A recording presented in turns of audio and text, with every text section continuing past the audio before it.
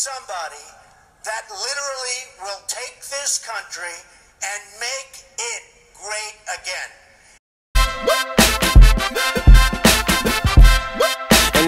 There's certain rules uh, that you have to follow with these debates. First of all, look, each candidate has an allotted amount of time to speak without being interrupted. So if someone else is talking, you can't just jump in. Yeah, yeah, I got, I got it. Eight, 8.3 billion, 0.98 million. That's another thing right there. Look, you, you can't just throw around numbers that don't make any sense. I understand, but 3.2 billion disagree. Where did you get that number from? From 9 trillion. Let's get back on track now, okay? Let me hit you with a, a sample debate question. All right? Perfect, go ahead. All right, here we go. Now, how are you going to deal with immigration? Build a giant wall. Okay, uh, what about the economy? Build a giant wall. Education? Wall. On a scale of 1 to 5, 1 being not concerned at all, and 5 being extremely concerned for the future of our country, how concerned would you be if Donald Trump was elected president? Four. Four. Five. Five, I would be extremely concerned. He's a radical and he doesn't know how to lead a country. He has no political experience and it's not safe to have someone like him in office. Um, I'd say four because all of his ideas are completely impractical and he has no way of saying that they'll work really. So I think if he was a president, um, it would be really ridiculous. On a scale of one to five. Okay, in all honesty, I haven't heard him speak a lot of, during this campaign because I have not taken him seriously. Um, but when I've heard him speak, I think he is a little too flippant to make me feel like I would not be concerned. So maybe a four, I think. Five. Can I say six? or seven?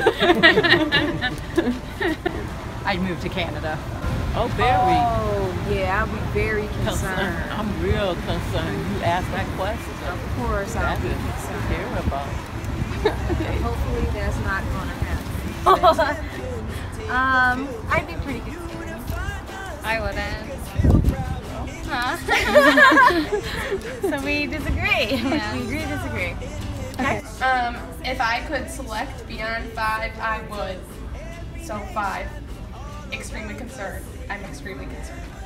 Five, I don't think he has any idea how to run a country. Two. I don't know if Donald Trump will get elected or not, but the one thing I do believe about the Donald is that he is very, very smart, and I think that well, he may not be very experienced in certain political arenas. He will find someone who is, and I think that he has a great vision for America. So I, I'm not at all concerned. If, if he can't do it, he'll find someone who can help him and be on his cabinet. Um, I would say one. I think he might make a decent president. I'd say four. I would be concerned a three amount is the amount. Is that loud enough? The bell's ringing right now. My vote is for three. My answer three. I'm gonna say big cinco on that, big five. Super concerned. Do you like my ballet move? Okay, great. I'm a one. Uh, I, okay, two. Four. I wouldn't be too concerned because he's a white man, and when has a white man steered us wrong? I think it would be a terrible tragedy. I hope there are not that many people who are so misguided as to vote for him. I think he's a blustering, egocentric um, person who may or may not have done well in business. According to him, he did. But I think that there are facts to prove otherwise on that. And despite whether or not he's done well in business, he has no qualifications whatsoever to be the president of this country.